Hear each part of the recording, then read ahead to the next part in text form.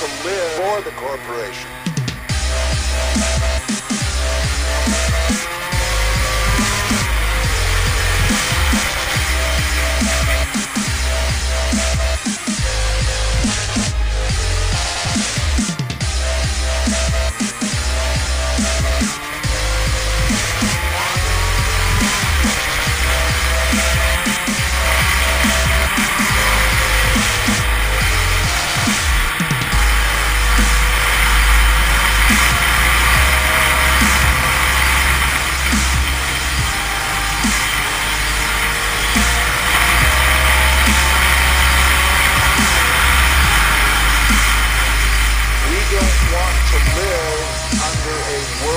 Government of the corporations, by the corporations, and for the corporations.